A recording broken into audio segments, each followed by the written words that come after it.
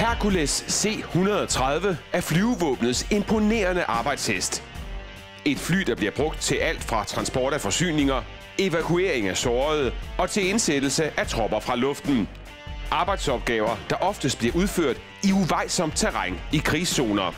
Herculesflyet her, det er primært lavet til uh, taktisk lufttransport, det vil sige, at vi er gode til at operere i, uh, i områder, hvor at uh, baneforholdene ikke er så gode.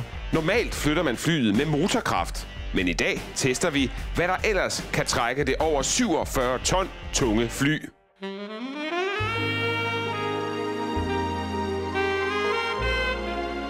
Det her er verdens største hesterace. To fuldvoksne Shire-heste. Hesterasen har en lang historie bag sig. De er nemlig blevet brugt til alt, lige fra at bære ridere i fuld udrustning til at slide som både trækheste og bryggerheste. I Danmark er Shire-hesten også en stor del af vores landbrugshistorie. Her blev den stærke hest nemlig brugt som arbejdsdyr, når der skulle pløjes marker og transporteres tunge maskiner. En shirehest, så en stor hest, og den spiser meget. Den spiser 25 kilo hø om dagen. Valakken Absalon og hoppen Dior er to imponerende dyr og udgør til sammen 1750 kilo rå muskelstyrke, som det nok kræver et rigtigt mandfolk at konkurrere imod.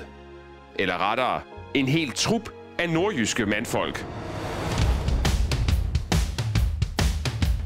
Det her er rugbyklubben Lynet fra Aalborg. For dem er styrke og hissighed nøgleord. Lyn og Aalborg har været en stor force i dansk rugby i mange år, og vil være det fremover i mange år. Rugby er en sport, som kræver power, smidighed og frem for alt teamwork. Flyvepladsen i Aalborg lægger asfalt til duellen, hvor vi om lidt finder ud af, hvem der hurtigst kan trække det enorme Hercules-fly over en strækning på 20 meter. De to heste bliver spændt for et hammel, der sørger for et jævnt træk. Både hestenes og rugbyspillernes ræb bliver spændt fast på en trækstang, monteret til flyets forhjul. Jamen, det sværeste for os i dag, det er helt klart at få hestene til at trække samtidig. Få vægten i gang. Hvis vi først har den i gang, så tror jeg på, at det kan lade sig gøre. Taktikken i dag er helt klart at stille de tunge bærst og bruge deres vægte til at få den i gang. Får vi det til at køre og får et synkron træk, så skal vi sagtens flytte den der fætter. Hvem trækker hurtigst det 47 ton tunge Hercules-fly 20 meter? 20 meter skal de her to heste trække Hercules-flyveren, og det er så afgørende, at de får sat det rigtige træk ind fra starten for at få den i gang. Lad os se. Ja, jeg tror, den triller. Kæmpemæssig maskine. 47 ton.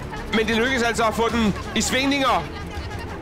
Ej, hvor er det flot det her. Glimmerne af Dior. Glimmerne af Absalon. Her er de halvvejs efter 18 sekunder, og nu kommer der for alvor fart på.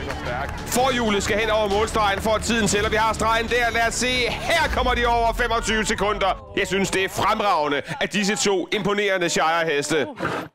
Og lad os se. 21 flotte mænd i lilla. Kan de gøre det bedre end de her to stærke heste?